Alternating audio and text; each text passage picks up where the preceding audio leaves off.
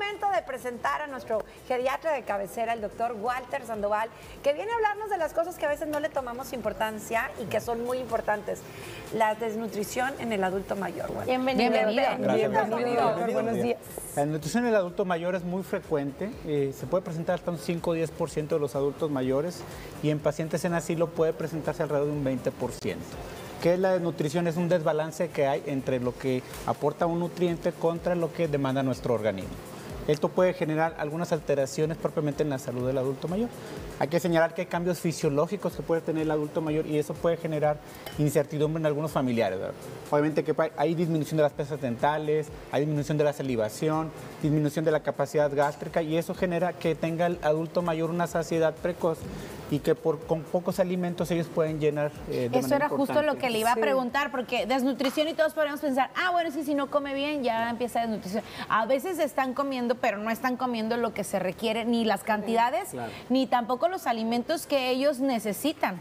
Si nosotros tenemos datos clínicos para señalar que hay una desnutrición, obviamente que tenemos que hacer exámenes periódicos, pero la disminución del 5% del peso corporal en un mes es una alerta. o alrededor del 10% de peso alrededor en, aproximadamente en seis meses es lo que nos puede generar o un índice de masa corporal bajo nos puede señalar que el adulto mayor puede tener desnutrición. Obviamente que hay que tomar algunos exámenes de sangre para complementar, hay que pesar al adulto mayor, hay que eh, hacer eh, medidas eh, antropométricas para ayudar a ver si hay deficiencia de grasa o si el músculo está alterado. El músculo es una parte importante en el adulto mayor porque teniendo un poquito de masa muscular, esto puede generar riesgo de caídas.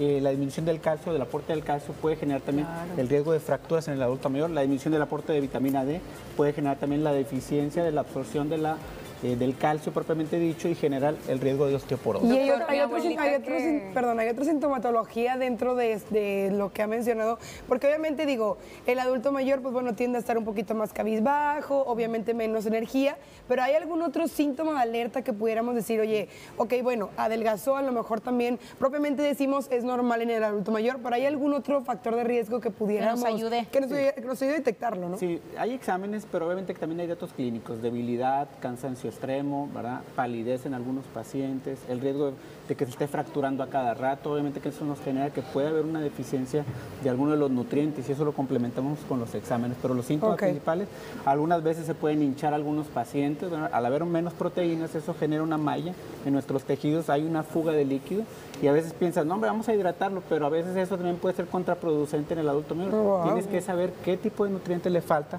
para saber qué es lo que le puede ayudar. Por ejemplo, puede haber deficiencia de proteínas, aportamos un poquito más de proteínas a la dieta, o el paciente, por ejemplo, puede tener eh, problemas de calcio, los requerimientos de calcio alrededor son de 1200 miligramos y, por ejemplo, de la vitamina D alrededor de 2000 unidades diarias. Entonces, cada día hay que estar viendo qué evolución puede tener un paciente y obviamente que los datos clínicos, como comentas, si hay, por ejemplo, pérdida del apetito, si hay cansancio, son los datos, si hay hinchazón en algunos pacientes, nos pueden señalar son como los, más claves para... De manera indirecta y complementarlo con los exámenes de laboratorio. Ibas a decir algo, ¿verdad? Sí, que mi abuelita, mi abuelita la atendía el doctor Walter.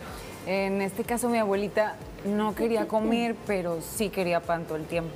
Ah. Claro, de hecho hay que señalar, por ejemplo, los, pacientes, por ejemplo, hay pacientes, hay pacientes que pueden tener depresión, por ejemplo, y con los alimentos dulces eh, pueden sentirse felices, ¿verdad? Porque es la generación de ciertas hormonas. Entonces, hay algunos adultos mayores que, por ejemplo, pueden tener depresión, dándoles un antidepresivo, puedes corregir ese problema. y, otro tipo de problemas que es muy común es los problemas dentales, ¿verdad? En el adulto mayor, si no hay una buena dentadura, no hay una buena masticación, obviamente no hay una buena digestión y eso puede Y ahí vienen los problemas. Yo creo que eres el, geriatra de todas nuestras abuelitas, porque mi abuelita también que le mando un saludo, siempre nos está viendo. Sabes que también nos recomendaste, porque también padecía de, desnutrición en algún momento, o falta de apetito, ¿te acuerdas? Algunos complementos que puedan ayudarle. Sí, eso es un punto importante porque a veces queremos darle el suplemento antes del alimento. Esto debe ser después del alimento. ¿Y eso qué tan recomendable porque no es? no es muy recomendable en ocasiones. No lo sustituye. Porque puede generar saciedad precoz en el adulto mayor y eso puede generar que no esté comiendo las proteínas, los carbohidratos, las grasas necesarias para nuestro organismo. Si el paciente se queda con algo de apetito después de comer, se le puede dar algún suplemento siempre y cuando no haya problemas, por ejemplo, en el riñón, porque ahí se tendría que dar otro tipo de Sí. suplemento.